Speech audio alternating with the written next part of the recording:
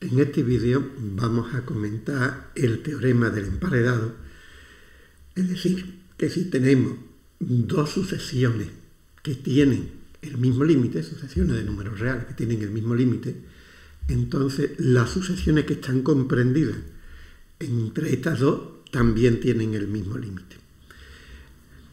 Más concretamente, lo que vamos a demostrar es que si la sucesión U tiene límite A, la sucesión W también tiene límite A. Y además para todo elemento, para todo índice n, Vn es mayor o igual que Un y menor o igual que Wn, entonces eh, la sucesión V, que está entre la U y la W, también tiene que tener límite A. Bien, pues vamos a empezar por el principio y empezamos importando la teoría de los números reales y usando tres variables, U, V y W, para nuestras tres sucesiones, es decir, funciones de n en los reales. Y A una variable, he puesto en plural pero lo podía poner en singular, una variable para los números reales. Y vamos a utilizar la notación que ya habíamos introducido en otros vídeos de las barras para el valor absoluto y la definición de límite. El límite de la sucesión U es C significa que para cualquier epsilon positivo existe un número a partir del cual todos los el valor absoluto de los términos IC es menor o igual que epsilon. Bueno, pues vamos a ver la primera demostración y lo vamos a hacer con el estilo aplicativo, es decir, utilizando tácticas.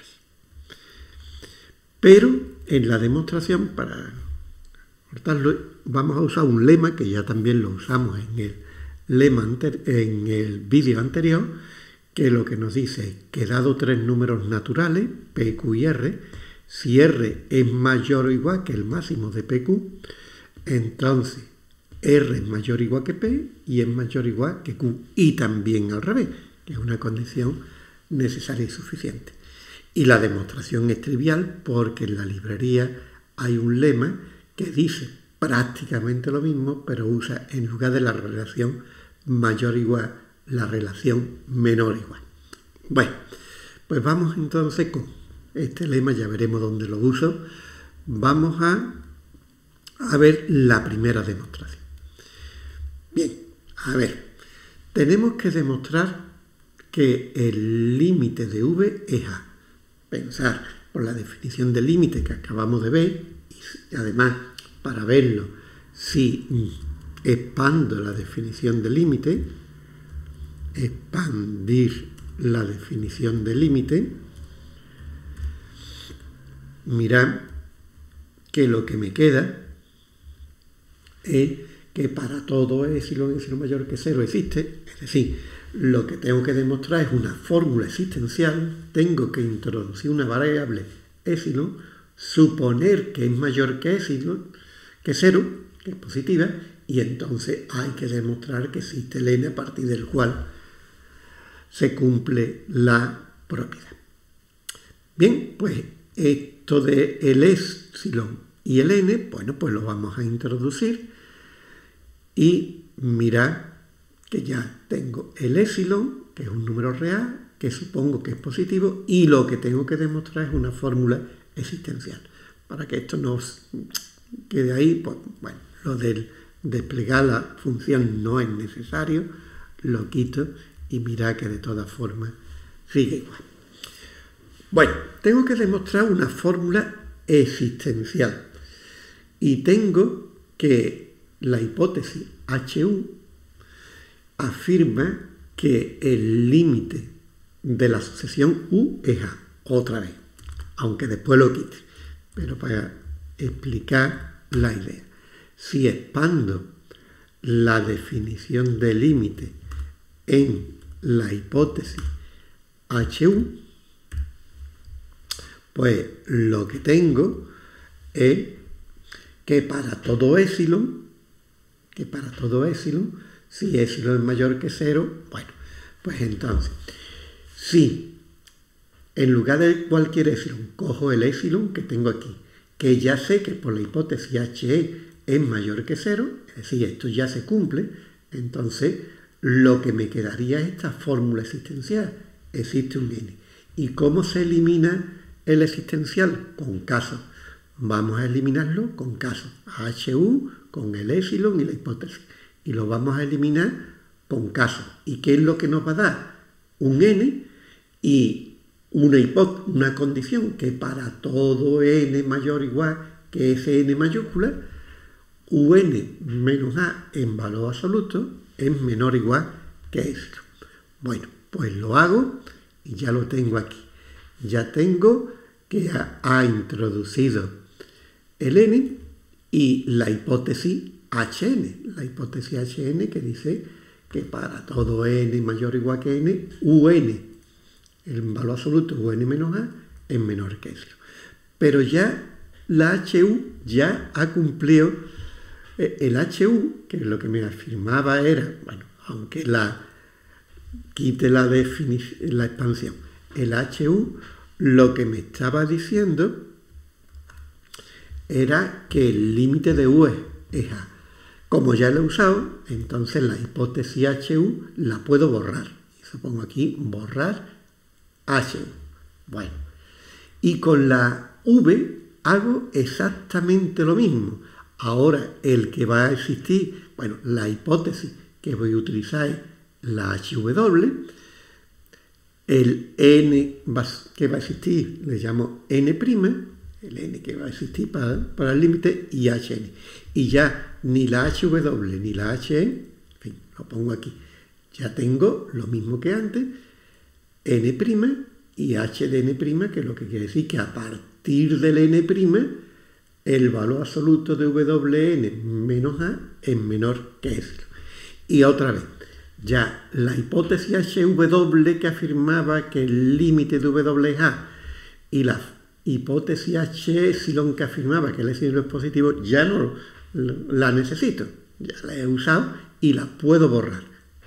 Bueno, me queda esto que, en fin, que ya está creciendo el número de hipótesis.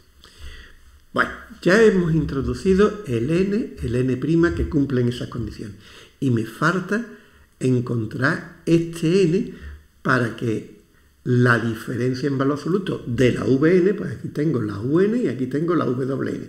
Necesito la vn. Bueno, pues ¿quién voy a coger como n? Pues el máximo de n y n'.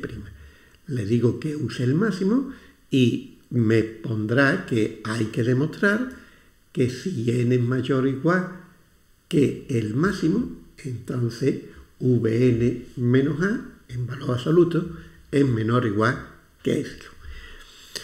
Bien, lo que tengo que demostrar es una fórmula es universal cuyo cuerpo es una implicación. Entonces, ¿qué voy a hacer? Introducir. Introduzco un n y a esta condición le voy a llamar hn minúscula. Efectivamente se ha introducido el n y la hipótesis es hn minúscula, que si n es mayor o igual que el máximo, pues se tiene la desigualdad.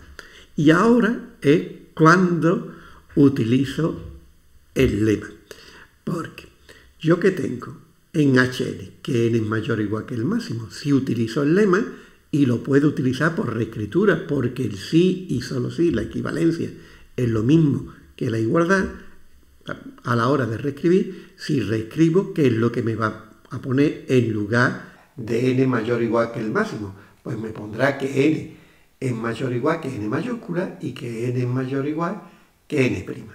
Efectivamente, reescribo con el lema en la hipótesis hn y ya tengo n mayor o igual que n y n mayor o igual que n'.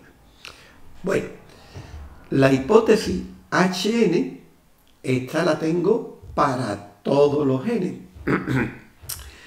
en particular para este n que he puesto aquí. ¿Por qué? Porque con este n que tengo aquí, la podría ser, hombre, lo único que me falta es lo de n menor o igual que n'. esto lo puedo hacer, especializar la hn en la variable n y la condición la tengo. Ya me quedaría que un menor.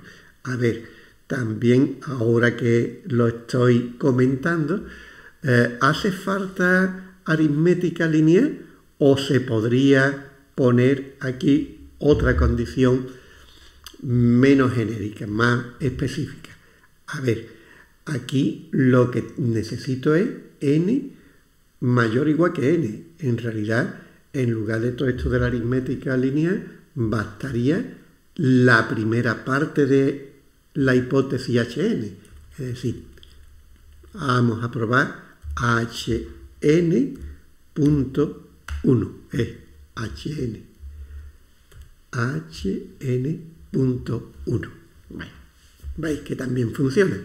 Y en la segunda, ahora tengo que especializar y necesito que garantizar que n es mayor o igual que n'. Aquí tenía por aritmética lineal, bueno, en realidad con hn.2, con la segunda condición de hn.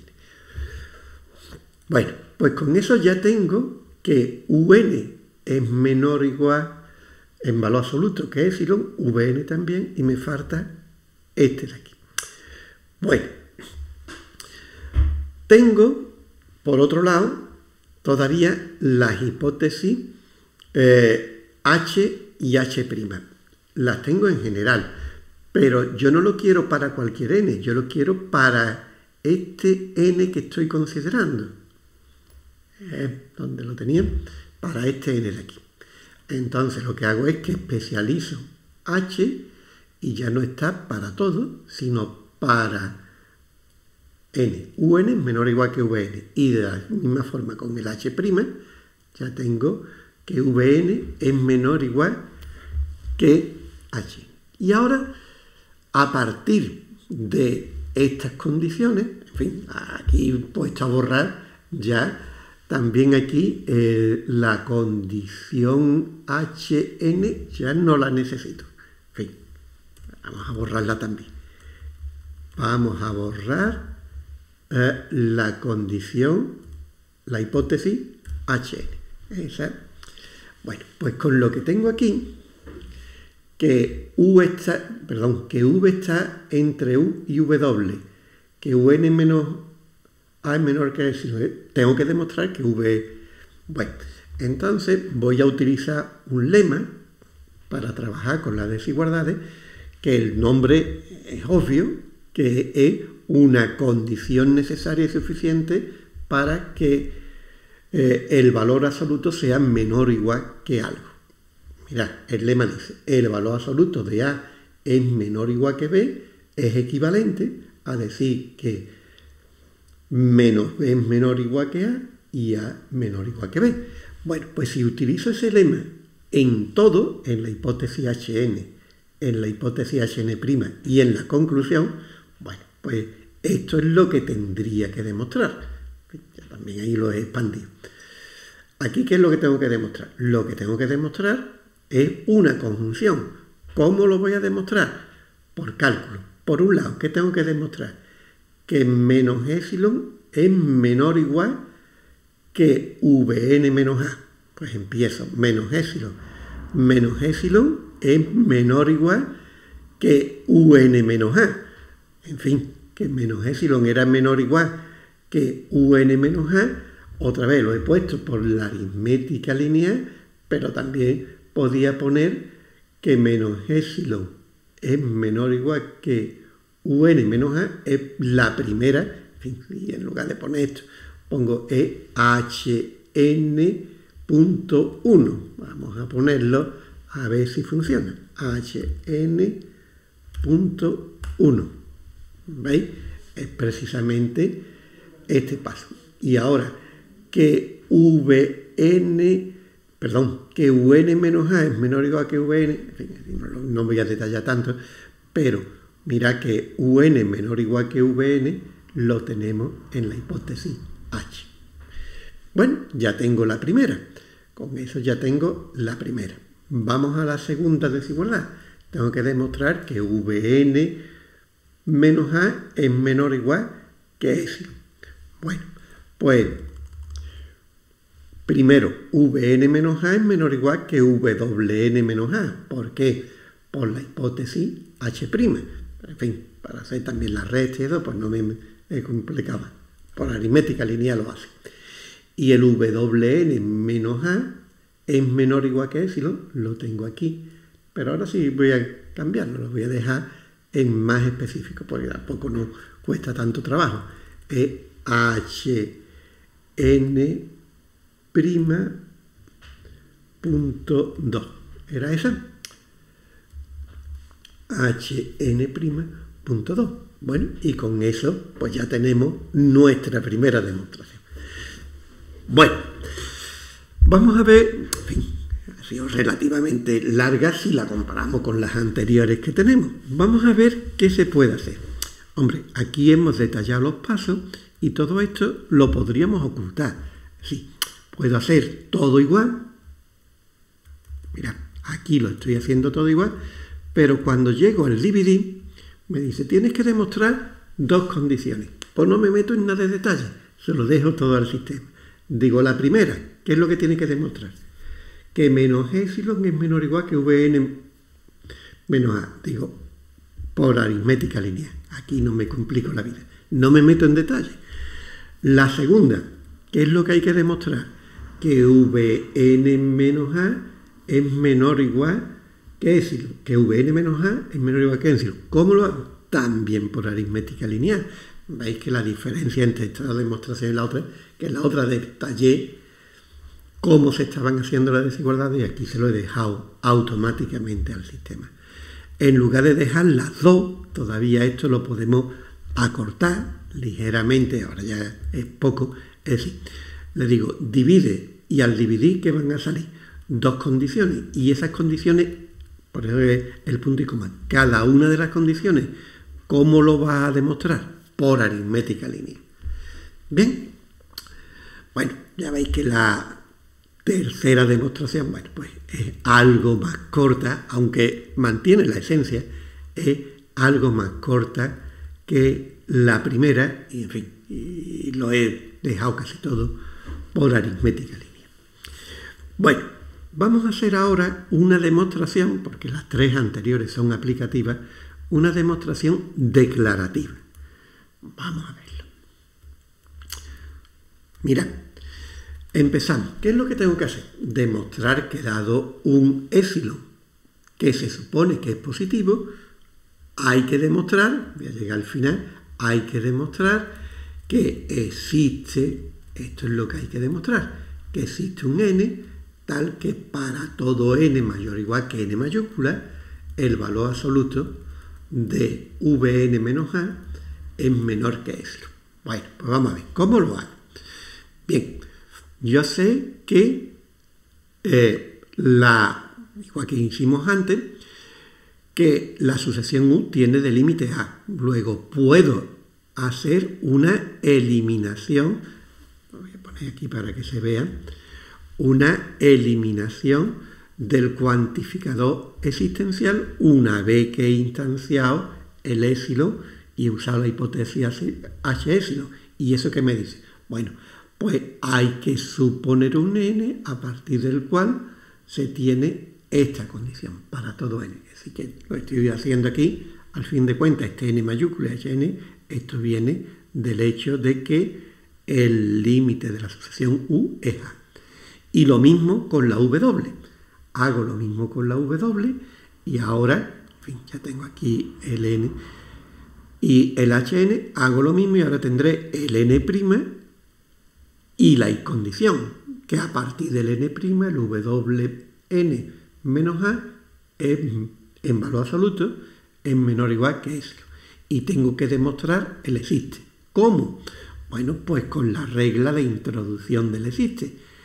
Para la regla de introducción del existe hay que decir quién va a ser el testigo, ese va a ser el máximo de n y n' y hay que demostrar que para cualquier n que cumpla la condición, esto de aquí, para cualquier n, si n es mayor o igual que el máximo de n, se tiene que cumplir. Bueno, pues primero, vamos a coger un n, vamos a suponer que el n es mayor o igual que el máximo, y si aplico el lema auxiliar, pues ya tengo que el n es mayor o igual que el n mayúscula y es mayor o igual que el n'.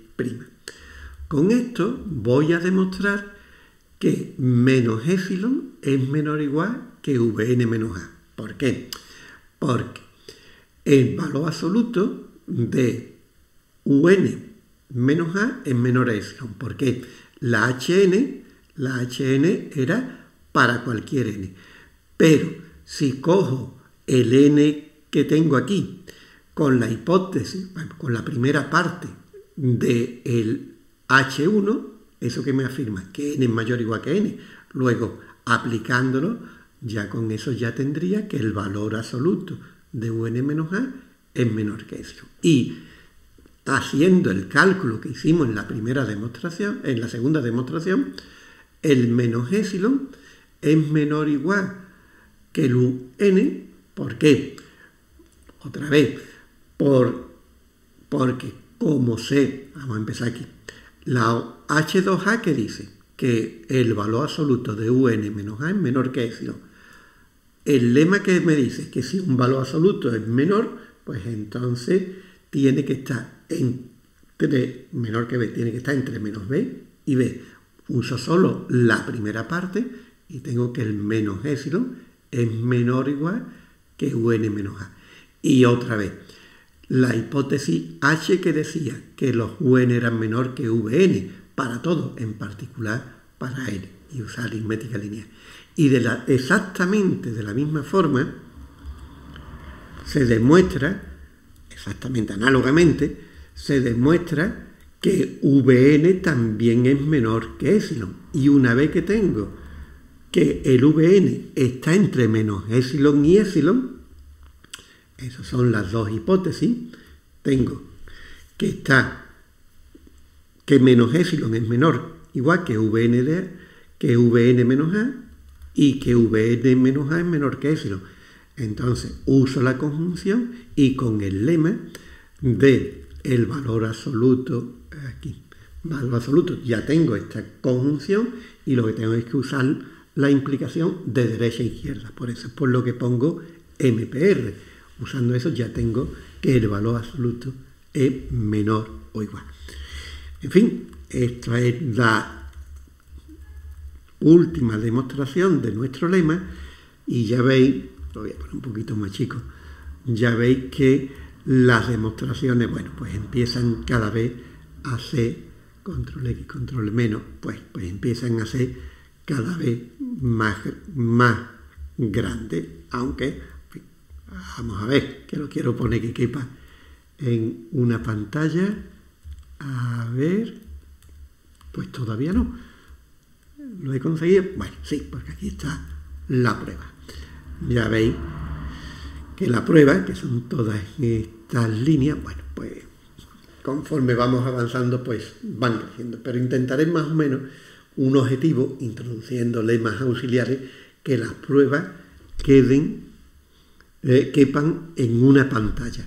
Pero ahí siempre tenemos una cuestión de equilibrio entre claridad, porque aquí esta es larga, porque he escrito todos los detalles, esta que teníamos antes, control X más, control X, control más, esta que teníamos aquí era más corta, la prueba es solo esto, es más corta, pero claro, porque no estoy enseñando los detalles que se están generando. En fin, con eso terminamos las demostraciones y eso es todo por ahora.